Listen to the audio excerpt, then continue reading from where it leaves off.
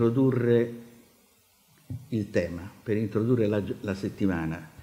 Eh, spero che siano soltanto 5 minuti, io vorrei essere molto breve, qualche volta mi capita di essere un pochino più lungo di quanto ho previsto, eh, sono due paginette, non di più, eh, che leggo evitando di commentare. Non potrò, non potrò evitare di commentare tutto perché qualche cosa mi scapperà sicuramente eh, come autocommento.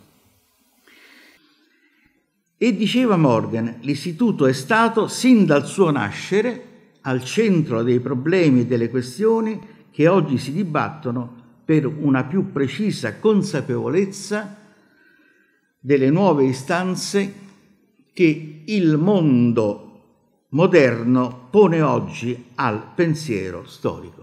Allora questa coscienza già ben presente, già fortissima, lo sappiamo da tante altre ragioni, ma così chiaramente e semplicemente espressa da Morgan delle nuove istanze, di, un nuovo, di una necessità di un nuovo tipo di dialogo tra mondo moderno e ricerca storica.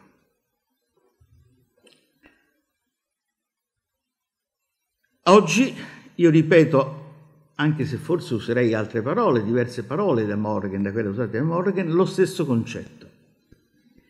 Il rapporto tra pensiero storico e società si modifica quotidianamente e l'istituto non può non tenerne conto. Questo è il problema.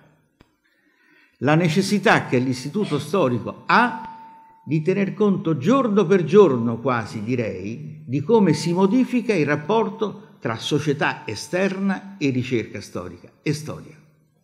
Potrei a questo punto tranquillizzarmi e tranquillizzare chi ascolta affermando che siamo oggi, per ragioni ideali e per scelte tematiche, nella tradizione. Arnaldi, Morgan, Bis e se volete anche più indietro. Ma sarebbe parzialmente vero. Credo che la tradizione sia scelta strumentale di chi ha poteri decisionali per lasciar crollare le istituzioni. Credo di aver detto una cosa abbastanza violenta, non so se tutti l'hanno recepita come tale, eh, eh io l'ho pensata come tale.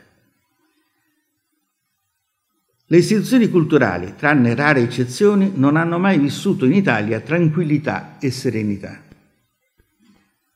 La nostra storia, la storia dell'istituto lo testimonia, anche nel concreto del suo corpo, nelle vicende della sua sede.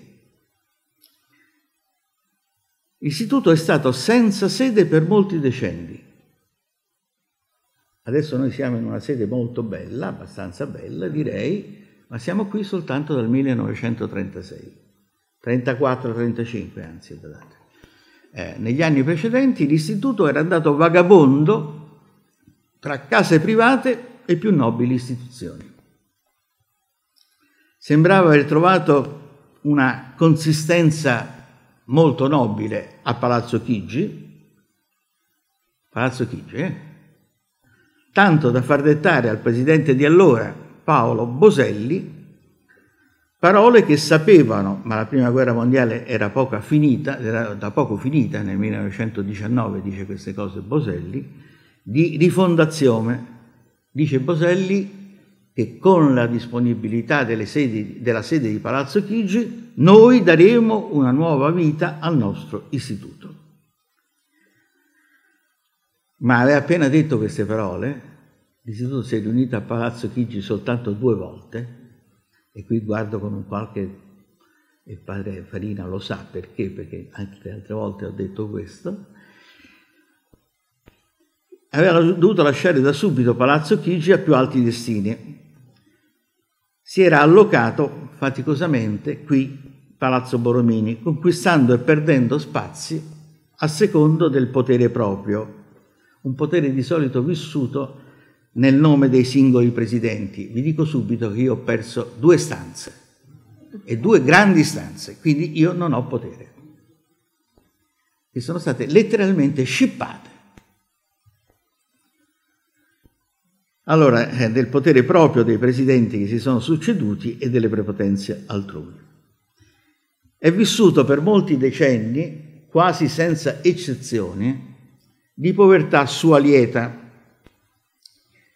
anche se all'origine aveva finanziamenti dedicati, l'istituto è nato con dei finanziamenti. Poi nel corso degli anni questi finanziamenti lo Stato si è, si è dimenticato di metterli a bilancio e così via dicendo. Ma da Gentile in avanti ha avuto anche una scuola storica dal 1934 tutta volutamente diversa dalle scuole universitarie. E questo è un altro elemento importante. Fedele e Gentile, stranamente uniti in questo, non erano personaggi che andavano molto d'accordo, eh, Fedele e Gentile avevano voluto, ma soprattutto Fedele, aveva voluto una scuola che fosse assolutamente non universitaria, distinta, diversa da quelle universitarie. E spiega anche le ragioni, fra l'altro, ci sono delle pagine anche molto interessanti. E su questa scuola e sull'impegno di molti è vissuto o sopravvissuto anche nelle tempeste l'istituto, non perché la scuola storica, badate, abbia apportato lavoro all'istituto, perché è tutt'altro, eh, ma ha portato ricerca. E siccome l'istituto è un istituto di ricerca, anche è la presenza della scuola storica, che molto probabilmente è messa a rischio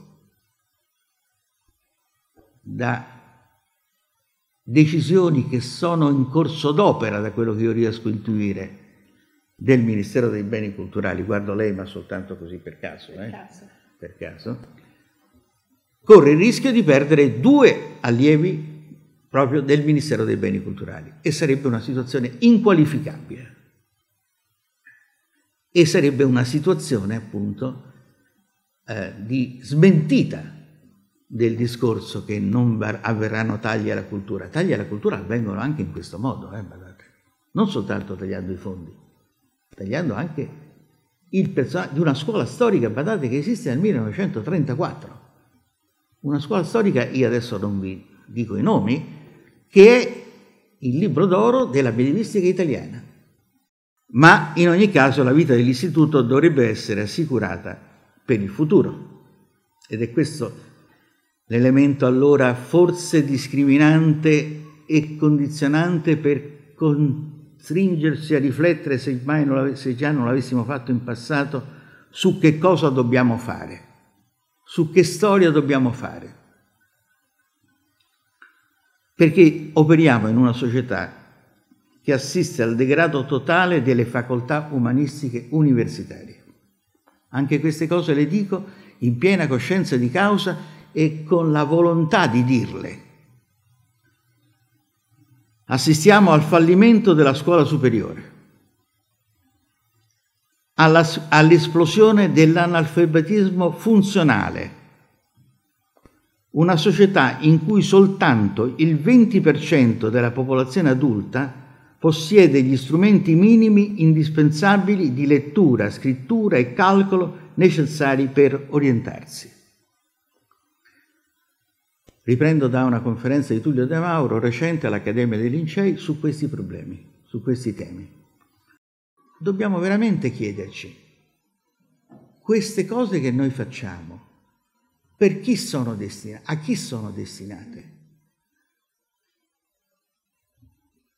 Dobbiamo pubblicare volumi, edizioni e letteratura storiografica che abbiano una possibilità di trovare lettori, che poi a ben vedere è la ragione prima della scrittura in qualsiasi contesto.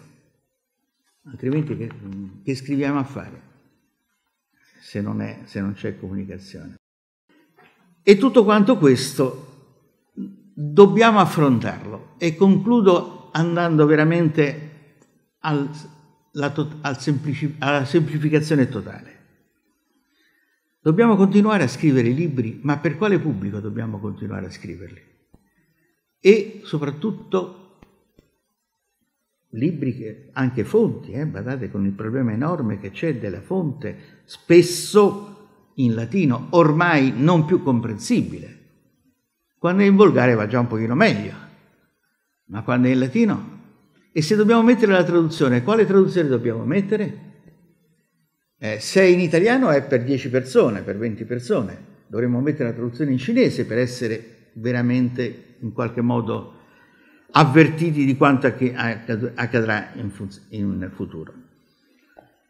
E non sono problemi da niente, sono problemi che per un istituto come il nostro, che è sempre stato, lasciatemelo dire, una torre d'avorio, in cui i colleghi si sono, eh, l'ho detto anch'io spessissimo, la casa degli storici, non può più essere la casa degli storici, deve, essere, deve diventare qualcosa di, la casa dei medievisti, deve diventare qualcosa di diverso eh, deve sapersi proiettare verso l'esterno.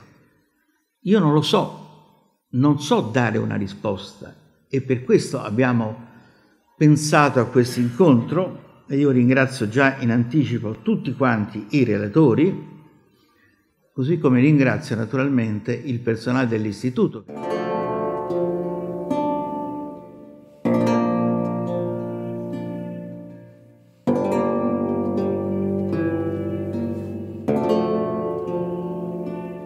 Oggi ci si chiede tutte queste cose che fine hanno fatto, se abbiamo un ruolo, ed è facile rispondersi.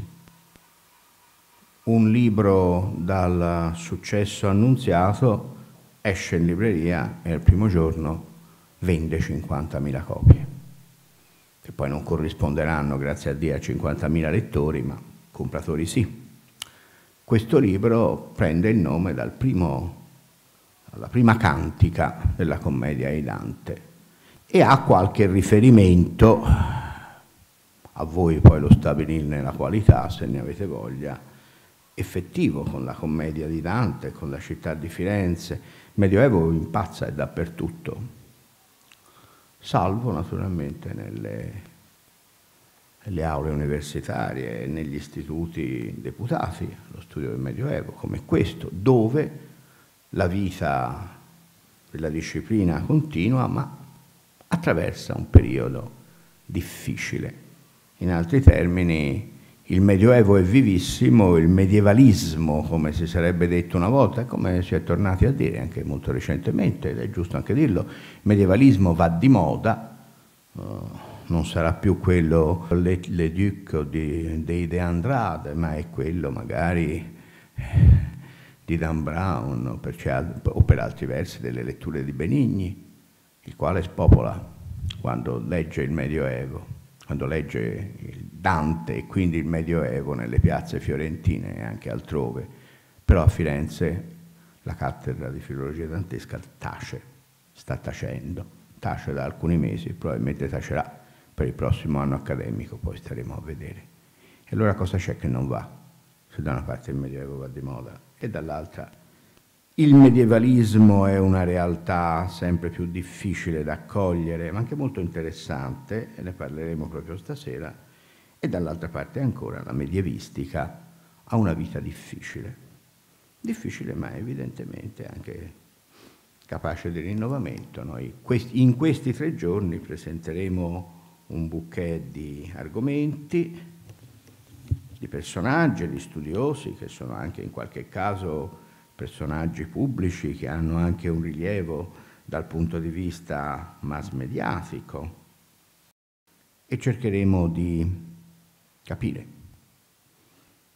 perché il successo del Medioevo corrisponde a un'eclisse della medievistica, se questo è vero, in che misura è vero, in che misura ciò è fisiologico, in che misura invece ciò è suscettibile di essere corretto. Fatti, leggende e racconto. Sapete che dire, eh, in, una, in un recente che ormai è diventato passato prossimo si è molto parlato del fatto, si è tornati a parlare del fatto. Un grande studioso francese ha scritto un libro sul ritorno dell'avvenimento si è cercato di definire che cos'è il fatto e ovviamente che cos'è la leggenda, la leggenda latina e le leggende in, nel nostro volgare, raccontare, raccontare fatti, È un fatto, una credenza che magari coincide largamente con, con l'incredibile, con l'impossibile, con l'irreale? È un fatto la famiglia di Arlecchino? Anche se molti dichiaravano un tempo di averla vista. Sono fatti gli eventi accaduti che non hanno lasciato traccia? Che rapporto c'è fra scrivere fatti, studiare fatti, descrivere fatti e fare storia? Anche, ci sono anche infiniti medievi dal nostro risorgimento in poi che hanno in qualche modo contribuito a, fra virgolette, fare l'Italia e non c'è dubbio che il Medioevo è stato un elemento importante anche nel nostro processo di unificazione nazionale nel bene e nel male, ma eh, Medioevo non è soltanto un periodo storico, è anche qualcos'altro. Se gli umanisti e i romantici si sono accapigliati per, per molto tempo e ancora oggi si continua a parlare di tenebre del Medioevo, di roba degna del Medioevo, quando si vuole, si vuole sottolineare la nostra condanna e il nostro orrore davanti a certe cose, ma d'altra parte si è parlato come Etienne Ginson amava parlare, ma anche Eugenio Garen a uno dei primi convegni di quella cosa che allora si definiva la spi- un po' morganianamente la spiritualità medievale, ricordo che la prolusione dell'allora mio maestro Eugenio Garen nel 1961, veramente Memoir de Tombe, fu la luce del Medioevo. Cosa vuol dire il Medioevo militante? Il Medioevo militante si può leggere dai due versanti. Noi siamo militanti del Medioevo in quanto lo studiamo e poi c'è diciamo, la ragione di fondo, il Medioevo militante, cioè di tutti coloro che eh, usano il Medioevo come idea, come sogno, come rappresentazione per fare politica, che è naturalmente il punto di partenza di questo libro che ho pubblicato. Eh, qual era il mio interesse? Il mio interesse si avvicina molto a quello che ha introdotto Massimo Miglio prima a proposito della necessità dell'Istituto Storico Italiano, direi di venire incontro alla società che muta e di cui fa assolutamente parte, non è un ente, un istituto, un ente terzo, fa parte di questa società, la società muta e naturalmente l'istituto ne prende atto.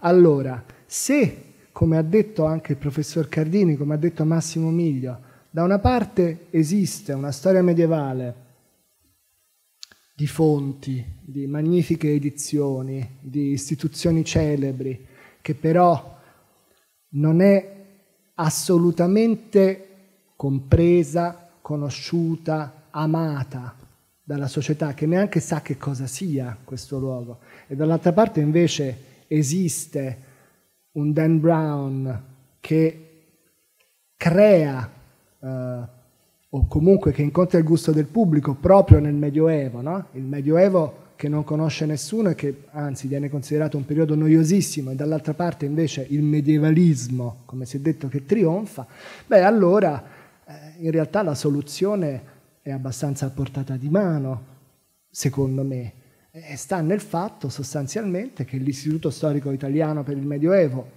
come altre istituzioni culturali consimili, come noi stessi che facciamo questo lavoro anche come professionisti, beh, dobbiamo prendere atto eh, del fatto che anche il medievalismo, cioè il sogno del Medioevo, è eh, parte del nostro interesse culturale, cioè che siamo noi stessi medievisti a dover parlare di medievalismo?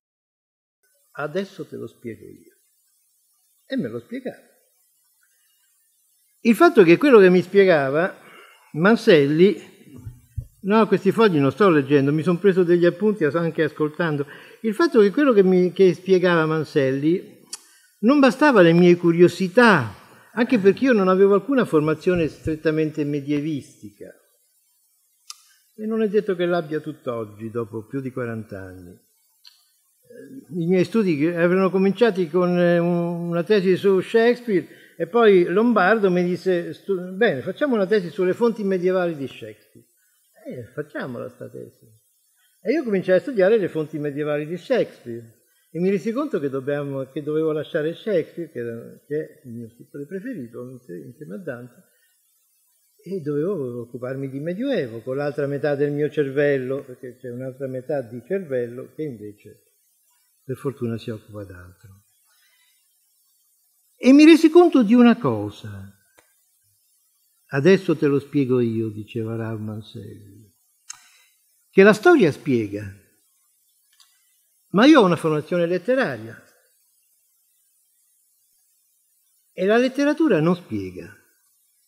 La letteratura medievale o no si interroga, si interroga sul destino, studia i valori dell'uomo, studia, come diceva un tempo Ezio Raimondi, che però è ancora vivo, studia le carenze, e mi rendevo conto che le spiegazioni che mi dava la storia erano, eh, erano spiegazioni parziali. Dice Amleto, ci sono talmente tante cose fra la terra e il cielo che noi non possiamo misurarle. Il Medioevo, che cos'ha che ci affascina? tutte quelle cose dette, tutte, tutte vere, oppure tutte parzialmente vere. Il Medioevo ha una, come la medaglia del mago di Oz, cosa, di cosa hai bisogno? Ti manca una medaglia, manca... che cos'è che ha di più di qualsiasi età storica? Ben inteso, finché Medioevo, noi saremo medievali nell'anno 8000, quindi lo schiacciamento prospettico ci condanna ad essere medievali nel futuro più futuro. Che cos'ha di più? Ha il linguaggio dei simboli. Non esiste età storica in cui colori e significati, primi, secondi, terzi e quarti di un oggetto o di un aspetto siano univocamente decifrabili. Ogni cosa dietro quello che c'è, non di scritto, non solo di scritto, ma di detto anche nel Medioevo, ha un significato simbolico e neanche un altro. Convinto di queste cose, non mi piace parlare di me e quindi non parlo di me, però devo darvi un esempio. Nel 2008 mi sono e, e soprattutto convinto del fatto che leggendo i testi medievali. Una cosa era quello che dicevano e una cosa era quello che volevano dire. Le cose non sono mai, Pirandello ce l'ha insegnato, non sono mai come sembrano. Sono anche come sono. Fatti, leggende, com'è? Fatti, leggende, storie? Per me questi tre vocaboli sono...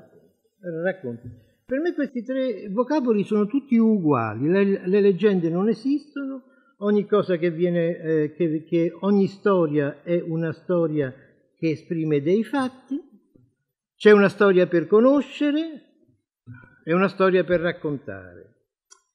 Ma mi sono reso conto che, visto che le cose non sono mai come sembrano, la letteratura medievale, grazie al fatto che ci sono livelli primi, secondi e terzi dei significati di quello che è scritto oppure detto, è un'ottima palestra per capire in che modo un individuo scrive una cosa e ne pensa un'altra. Il manuale per mio figlio che Duoda scrive non è il manuale per Guglielmo. Duoda è epoca carolingia, muore nell'843. Non è il manuale per Guglielmo, Guglielmo nemmeno lo leggerà mai quel manuale, è l'autobiografia. Però è il manuale per, per suo figlio. Dice Alcuino, che è il più grande degli enciclopedisti carolingi, a, a dispetto di Rabbano Mauro, dice Alcuino nel, nell'opuscolo quinto, che è la sua più bella enciclopedia, due pagine e mezzo e non i 26 capitoli di Rabbano Mauro. L'uomo si ritiene attraverso i sei lati del mondo, avanti, dietro, sinistra, destra, di qua, di là, sotto, eh, sopra e sotto. E poi dice anche, però bisogna stare attenti a ciò che si dice. Scrive, bisogna stare attenti alla parola. Quindi i lati del mondo diventano sei, cioè non diventano più sei, ma sono sei. Allora, salto a pie pari il problema dei, della fantasia e dei personaggi raccontati. Il testo medievale, il testo medievale è, è un, soltanto un punto d'arrivo, ma prima ci sono le voci. Nessuna letteratura, nessuna letteratura, nessuna letteratura, nemmeno quella moderna, quella che ci tiene in piedi oggi, nessuna letteratura nasce sulla pagina. Sulla pagina tutte le letterature arrivano.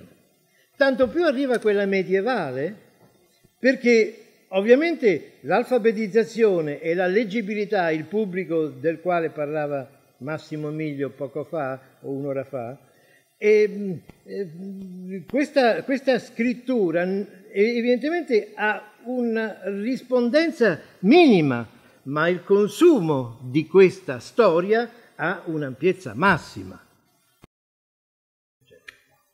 La letteratura oldeporica è una letteratura di spionaggio.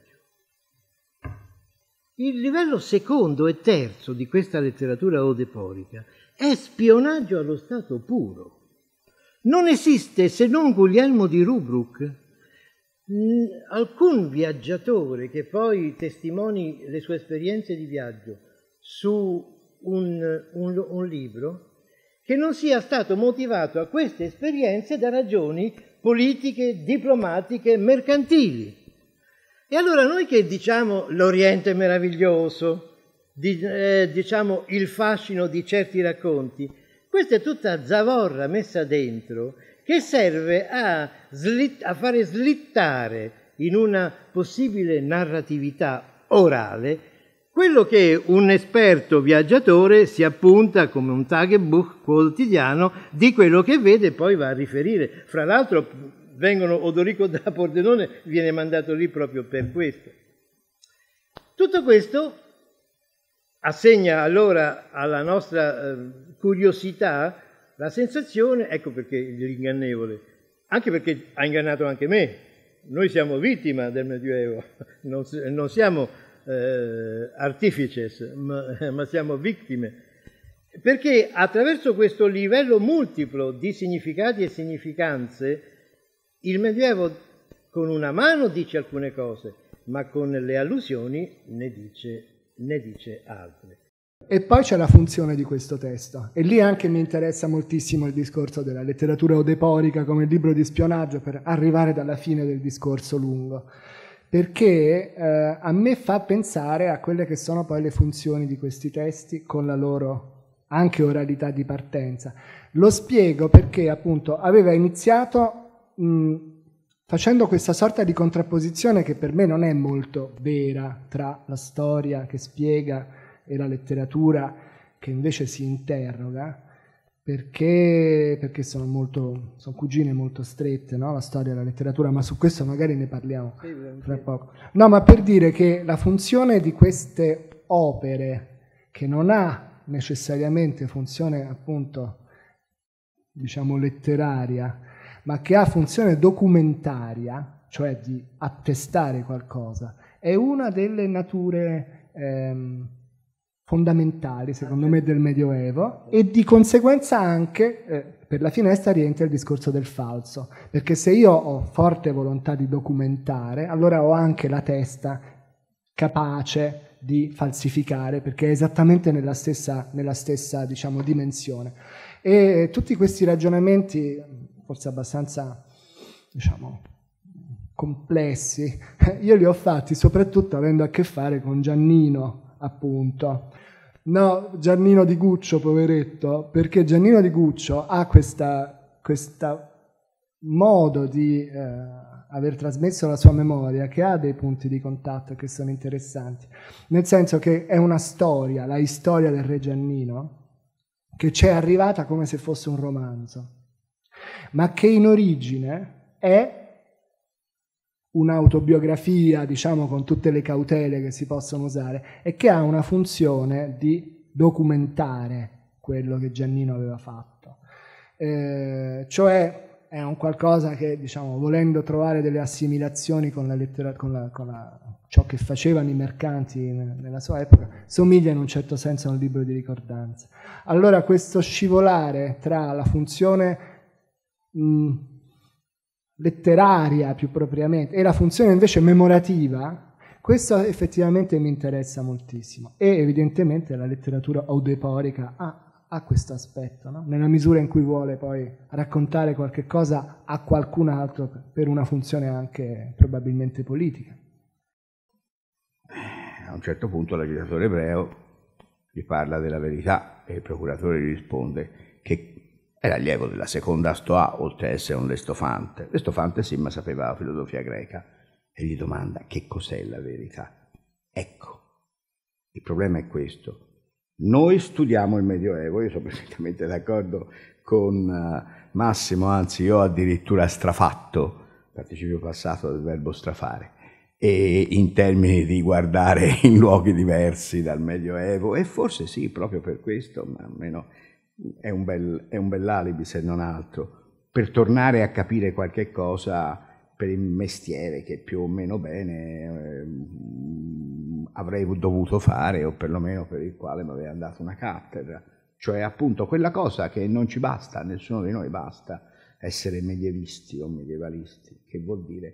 Però eh, non mi rispondere subito se vuoi continuare il filo del discorso eh, no, prima no, che io mi intrufolassi, ma no, insomma eh, Massimo, Tommaso e tutti i presenti, c'è una verità con la quale l'ingannevole Medioevo, il, Medioevo militante può o non può eh, confrontarsi in qualche modo, siamo perennemente condannati a vagare tra differenti ipotesi di falso senza vedere nemmeno da lontano la verità, a meno di non ricorrere a, alla fede che però è sostanza di cose sperate e qui non, c'entra. Tu sai che Hobsbawm, che è morto mi pare l'anno scorso, diceva che la storia oggettiva non esiste, che, un, che la verità è un'utopia. E io sono completamente d'accordo e il fatto che poi ci si muova fra gli inganni è previsto nella vita di tutti. Eh, raccogliendo sia quello che hai detto e quello che ha detto Tommaso. Adesso vorrei fare un passo ancora però. Ecco, eh, e quindi si fissa un documento perché ha un valore di per sé eh, significativo, testimoniale, come hai detto. E se il documento che si fissa e che ha questo valore testimoniale non è, non è esaurito in questo, poniamo per esempio la letteratura normanna. Eh, Alessandro di, Ugo Falcando. Ugo Falcando, Alessandro di Terese, quello scrive la storia di, di, di Ruggero, Alessandro di Terese. Ruggero II, è poco di buono di Ruggero II. E Ugo Falcando scrive la storia del Regno Sicilia. Va tutto a posto. I pezzi sono messi lì. Poi ti accorgi, se lo leggi in, in controluce, come si fa con i quadri, con i, con i raggi infrarossi, poi ti accorgi che l'opera di Alessandro di Terese è un ammaestramento ai sudditi di come mettere fuori gioco un poco di buono come Ruggero II. Lo dice, cioè lo dice, lo allude, ma, non, ma no, Ruggero probabilmente lo, lo, capisce anche, tant'è che poi scrive le assise di Ariano. E, e, e Ugo Falcando ancora meglio, Parla di Guglielmo I, Guglielmo II, ma parla soprattutto dei, dei, dei loro sottoposti, che sono gli grandi uomini, Stefano della Persia e Ofamil, sono grandi uomini di potere. Qual è la verità di questa storia? È stupido cercare la verità, la verità non, non esiste. Come diceva, come dice Carlo Ossola, l'eresia ha in sé delle parti erronee della verità.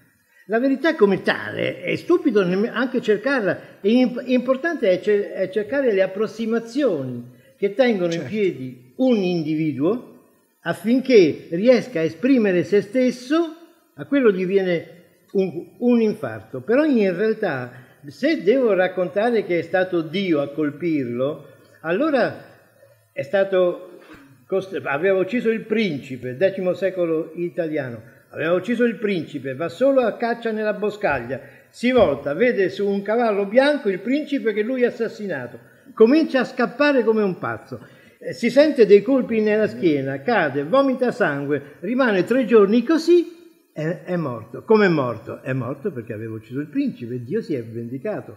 Magari no, è morto di subito, come si dice a Napoli, cioè è morto, è, è morto di un colpo, però bi- bisogna anche morire per qualcosa e quindi si normalizza. Ed è molto interessante questo discorso della, della intenzione sottesa. Ha evocato il fantasma di Derrida, eh? Sì, sì, beh, certo, certo, certo, certo. Purtroppo testo e fuori testo, testo e fuori testo, mi sa che uscirà fuori a un certo momento, se esiste qualcosa di fuori dal testo. Ma trovo molto interessante questo, questo concetto di fondo che si raccontano cose e se ne intendono altre e appunto si parla a suocera perché nuora intende e viceversa. Questo, questo, è frequente. Anche a me è capitato con un, un liturgista romano di fine XI secolo che si è messo a raccontare i giochi dei bambini, eh, le ronde dei bambini e tutte le, le liturgie che venivano fatte a Roma eh, a fine XI secolo sono le da Laude Scornomagni, stranissimo episodio, no? In cui ci sono gli uomini... esatto, in cui ci sono i diaconi che si vestono si vestono, che montano a cavallo dell'asino al contrario, ci sono i sacrestani che mettono le corna in testa, eccetera, eccetera. E questo è molto interessante anche perché evidentemente poi questo testo, che ha un'oralità dietro di cui uh. colossale, finisce però in un testo liturgico. Viene inserito all'interno di quella che poi è una compilazione liturgica.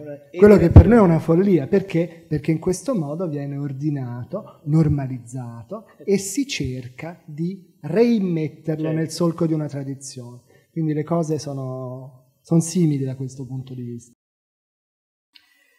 C'è un, un punto nei Karamazov dove Dostoevsky dice che la storia della quale Alyosha sa di essere la vittima, ignora l'esistenza dell'uomo. Leggo dalla citazione. E la sofferenza dell'individuo passa inosservata. O ancora peggio, la sofferenza non assolve ad alcuno scopo nel flusso generale della storia umana. Questo fa esattamente il paio con quello che dice Giacomo Leopardi nella natura nell'islandese dove l'islandese, l'islandese, non a caso islandese, nato quindi fuori da ogni latitudine, l'islandese si ferma di fronte a questa grande donna sfinge con gli occhi neri, gli dice ma come, ma tu non, non mi conosci? E la natura dice, non so, da questo, da, da questo eh, pianeta sento solo venire un brusio, ma io non so chi sia. Ed è la stessa cosa che dice, che dice eh, Kafka a, Januk quando vanno in giro per, per la piazza della città vecchia, nella città vecchia del 23. La storia ci percepisce, ma non ci calcola.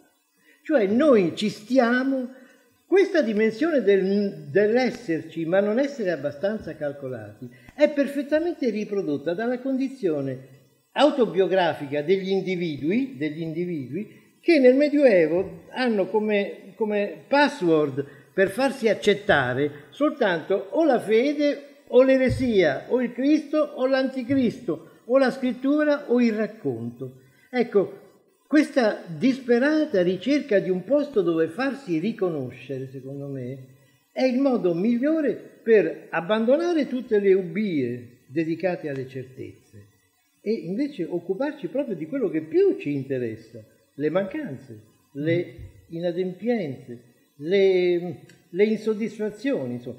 La letteratura, come dire, per esempio cavalleresca, è una letteratura alla John Wayne, hollywoodiana. Il cavaliere è sempre un uomo dispari, fuori da ogni norma sociale, destinato a una vita di solitudine. No? La letteratura cortese o di corte, che sembra essere molto contigua alla letteratura, per esempio, cavalleresca, invece è una letteratura di baciapile, di, di, di, di genuflessioni, di opportunismi, ma dietro quegli opportunismi ci vuole sempre, come nel Relire di Shakespeare, il pazzo che illumina il re sulla verità delle cose.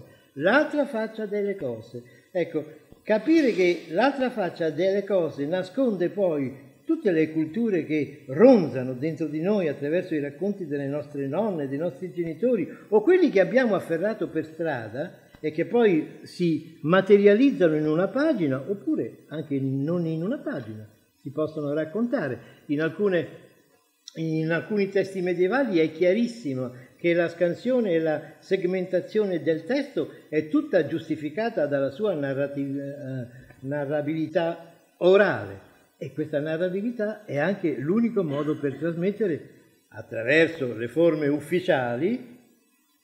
Sì, sì. Questo arco di rappresentazione molto interessante ha due elementi forse di fondo. Uno è questo peso dell'oralità che è molto molto interessante e l'altro è quello che diceva prima, cioè il concetto di medioevo come medioevo simbolico che sta dietro a, a tutto e io sono molto d'accordo su questo fatto. Ma allora le vorrei fare una domanda. Non crede che oggi questa fissazione che si ha per il Medioevo, cavalleresco, eccetera, eccetera, in realtà non nasconda una cuginanza con quello che è stato davvero il Medioevo, nella misura in cui si somigliano perché in entrambe le culture, cioè quella che noi studiamo e quella che noi viviamo, è fortissimo il senso il bisogno, il senso, il, il desiderio bisogno. di simbolo. Non è il fortissimo il senso. no, il bisogno, il bisogno. il bisogno. Il senso va cercato, va, viene cercato anche nel Medioevo. Non crede? Perché io sono abbastanza convinto di questo. Cioè che questa ridondanza tra contemporaneità e Medioevo, e dunque anche ciò di cui parliamo come testi, in realtà eh, nasconda quello che è un, una ricerca di simbolo anche nel mondo contemporaneo. Sì. Qual è l'ultima frase che dice prima di morire? Prima di morire, l'ultima frase che dice Cristoforo Colombo, che dice il mondo è poco. Il mondo è poco, è piccolo. La ricerca di simboli è quella che più ci eh, riguarda perché i simboli che oggi abbiamo intorno, che sono pattumiere, non sono simboli, è trash. Ti compri tutti i giornali del mondo, vedi tutte le televisioni del mondo e stai sempre allo stesso punto. O ti inventi qualcosa fuori dello schema, oppure sei dentro il trash. Certo. Sei dentro, come dice un grande scrittore contemporaneo italiano, Franco Cordelli, sei dentro il videodrome. Il videodrome, cioè non te ne accorgi, però ci stai. La ricerca di, di simboli è la stessa operazione che compie il Medioevo, ma la attua perché dietro ogni colore, dietro ogni gemma, dietro ogni minerale, dietro ogni montagna, dietro ogni apriti sesamo c'è un mondo che s'apre, come le scatole cinesi. E, eh, claro. e quindi più s'apre, più s'apre e più vado avanti, vado avanti con la testa. E il racconto, e qui colgo uh, l'occasione per una cosa che torna sulla tradizione orale. Qual è il punto massimo della tradizione orale? Il silenzio che è fra tutte le espressioni della tradizione orale quella più espressiva. Perché se uno sta zitto, qualcosa pensa. E quindi la tradizione orale ha come punto di massimo i silenzi. I silenzi come li fa? Come fai a calcolarli? Perché i silenzi li trovi scritti, oppure li trovi detti nel narratore, nella tradizione orale. Il silenzio è equipollente nella letteratura scritta all'omissione di un testo mm-hmm. o all'omissione di una frase.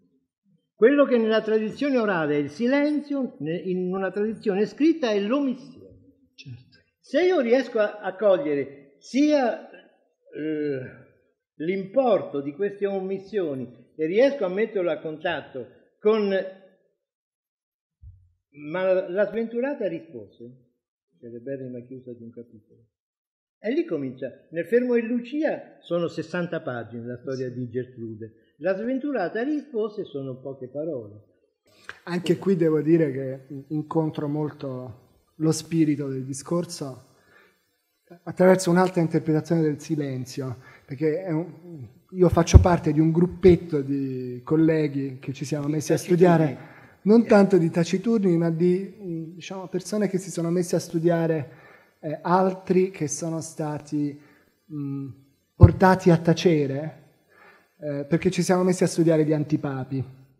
E allora se c'è qualcuno che effettivamente esprime il silenzio, eh, che noi studiamo anche in questo senso come omissione, come mancanza di, di, mancanza di trasmissione della memoria, è certamente il caso degli antipapi. Adesso abbiamo appena fatto un convegno su Anacleto II, l'antagonista di, di Innocenzo II. E allora effettivamente anche questa è una bella, bellissima chiave di lettura mi trova, mi trova d'accordo.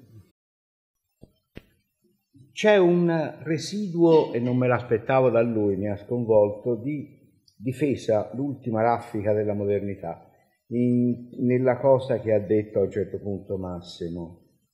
La storia, ha detto lui, dà anche, o da sua anche, eh, però la storia dà anche delle certezze.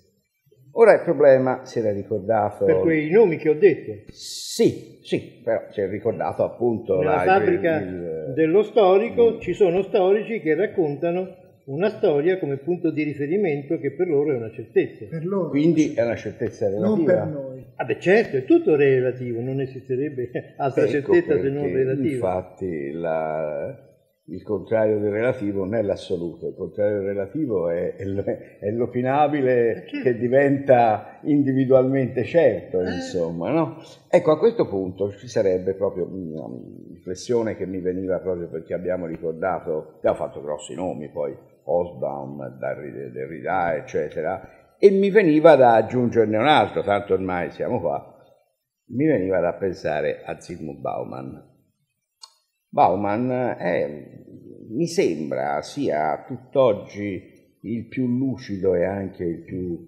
spietato eh, osservatore di quell'oggetto misterioso che noi chiamiamo la modernità, che poi secondo alcuni potrebbe coincidere con, la, con l'Occidente moderno, per così dire, la quale modernità nasce quando si cessa di, dare, di pensare che la vita abbia un senso eh, insomma nel cupo medioevo la vita aveva un senso, lo si pensava e come.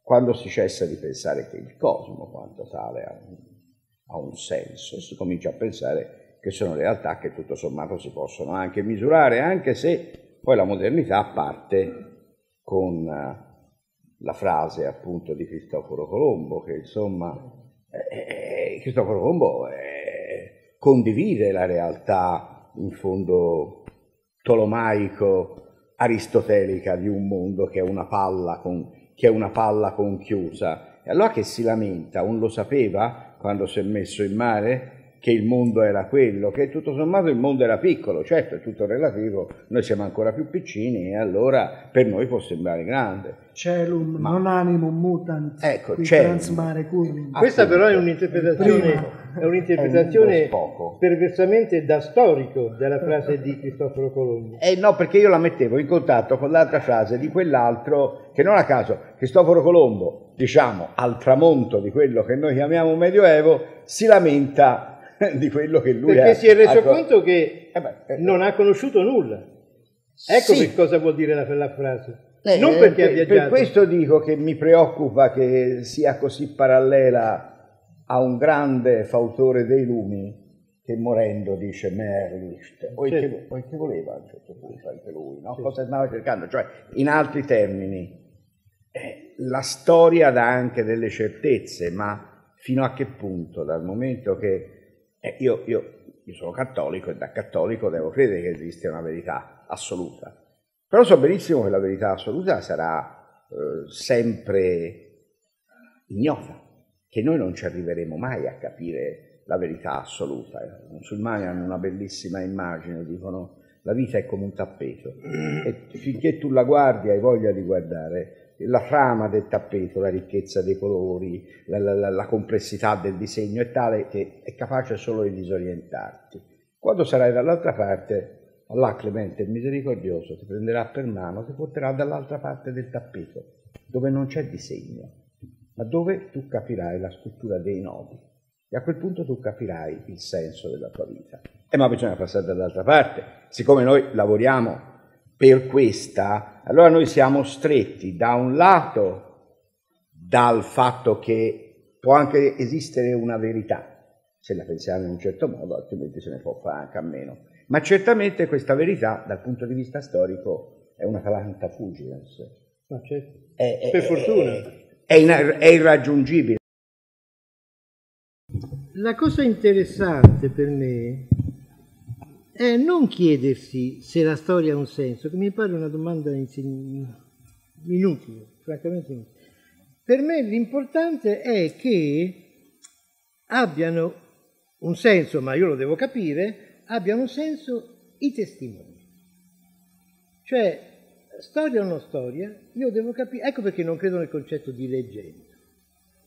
Se un individuo ha raccontato delle cose, vere o false che siano, evidentemente ne aveva bisogno. Quindi, come indagatore di un processo di, di mh, proiezioni anche mentali, io devo capire la utilità della storia che ha raccontato, a cosa gli è servito, non la utilità per me, ma, ma perché la racconta e perché crede in quelle... Per me, Paperon de Paperoni e Alice nel Paese delle Meraviglie sono dei personaggi esistiti, perché la mia fantasia, che è il massimo, il maggiore strumento di conoscenza che noi abbiamo, li fa esistere come categorie di qualcosa che esprimono. Allora l'importante è individuare il testimone e una volta individuato, o i testimoni, parlanti o, o scriventi, e una volta individu- individuati questi testimoni, io devo capire la loro, la loro personalità, di quali sbagliature e di quali certezze è intessuta. In una parola, allora, che cos'è che tiene in piedi la ricerca? Storia, non storia, non me ne importa niente. La curiosità del nostro mondo contemporaneo. Il Medioevo è ovviamente una convenzione. Allora da questo punto di vista sono perfettamente d'accordo, dovremmo disgregare, parlare di culture, parlare di epoche, parlare di momenti diversi. Però forse, proprio preso dalla lontananza, cioè da noi che siamo qui ora, la gran parte degli argomenti che abbiamo affrontato oggi distinguono noi da questa età altra, che forse almeno appunto da questa grande distanza secondo me è percepibile in una sua unitarietà. Eh, ovviamente fa, fatti salvi differenze ovvie, testimonianze, eccetera, eccetera. Però io colgo una, un rumore, una fisionomia di fondo nel momento in cui mi rappresento il Medioevo in queste forme. Una di queste, per esempio, appunto, è il Medioevo simbolico, oppure il Medioevo e la sua, come diceva il professor Oldoni, e la sua forza del racconto orale, perché c'è una sua caratterizzazione da questo punto di vista. E lo credo dopo aver molto ragionato sulla eh, giusta considerazione che il Medioevo non esiste, cioè che il Medioevo ce lo siamo ovviamente inventato noi. Eppure qualcosa che noi chiamiamo Medioevo secondo me ha una propria identità ed è una delle ragioni per cui mi interessa continuare a studiarlo. Ultimamente mi sono molto avvicinato, l'ultimo, sono stato molto vicino a Vittore Branca negli ultimi mesi della sua vita, lo andavo un po' a trovare, eccetera, e mi sono riavvicinato al mio concittadino Boccaccio. Mi sono accorto della abissale diversità di, dei modi di ragionamento e delle caratteristiche della, del modo di, di, di, pensare e di vedere il mondo, la, la, sconfinata diversità che come homines simbolici, perché siamo homines simbolici ancora oggi, noi abbiamo rispetto non ad Alcuino, che forse si sarebbe inteso a malapena anche con Massimo, con me poi non se ne parla nemmeno, o parliamo di Carlo Magno, ma addirittura con, Gio- con me sempre Giovanni Boccaccio, con cui io penso sempre mi sarei trovato tanto volentieri la sera a cena. Ebbene no, ragionavamo in termini molto profondamente diversi e credo che in questo qualitativamente parlando il blocco delle taumaturghi avesse effettivamente ragione. Ecco.